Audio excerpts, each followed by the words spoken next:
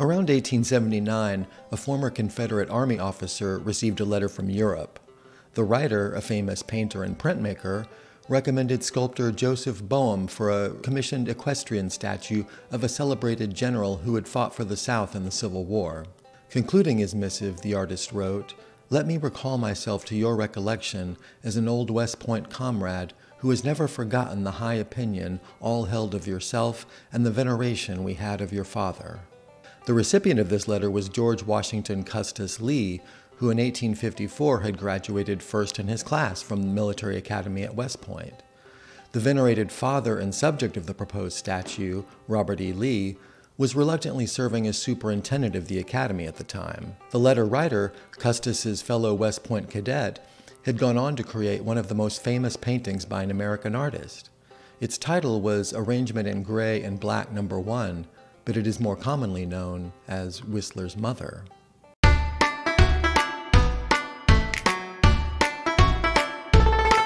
Cadet James McNeill Whistler, the son of a deceased Academy graduate and career officer, enrolled at West Point in July 1851. The following year, Robert E. Lee, who had served with distinction in the Mexican American War, was ordered to assume the superintendent's duties, which he considered a snake pit confiding to a professor that he had never undertaken any duty with such reluctance. Lee biographer Emory M. Thomas cites young Jimmy Whistler's time at West Point as an example of Lee's duties and vexations at the academy. Lee, then a colonel, granted a request by Whistler's mother Anna for a leave for her son to bid her farewell before she left to travel to Europe. Lee agreed, but for a shorter time than Anna Whistler had requested. Before he wrote to her, however, Lee consulted Whistler's professors and the schedules of the boats and trains on which the young man would travel. And Whistler's mother was not the only parent who requested some indulgence. By year's end, Whistler had collected 116 demerits, more than the number mandating his dismissal. However, Lee and the Commandant of Chiefs had the discretionary authority to examine demerit records and excuse some infractions if the cadet's general conduct and potential justified the mercy. Lee exercised his authority, expunged 39 demerits, and salvaged the young man's career for the moment. Thomas writes that during Whistler's third year, Lee had to write a letter to Engineer Chief Joseph Totten urging a favorable response to Whistler's request for permission to receive some articles of underclothing from his mother. So responsible was the superintendent for everything that happened at West Point that a colonel and a general had to correspond about Whistler's underwear.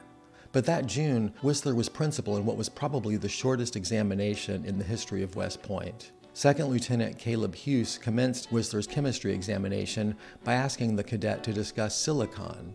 I am required to discuss the subject of silicon, Whistler responded. Silicon is a gas. That will do, Mr. Whistler, interrupted Huse. In 13 words, Whistler failed chemistry and flunked out at West Point. His petition to take another examination in chemistry was on Lee's desk within a week, so Lee had to review once more Whistler's record in chemistry and conduct. Having done so, Lee could find reason neither to re examine Whistler in chemistry nor to excuse enough of his demerits to prevent Whistler's mandatory dismissal. I can only regret, Lee concluded, that one so capable of doing well should so have neglected himself and must now suffer the penalty. Lee's remark about Whistler's capabilities was informed by the fact that, whatever his deficiencies in chemistry, Whistler was first in his class in drawing. After flunking out of West Point, he briefly worked for the U.S. Coast and Geodetic Survey. He found the work dull, but learned how to do etchings, which later greatly served his artistic career.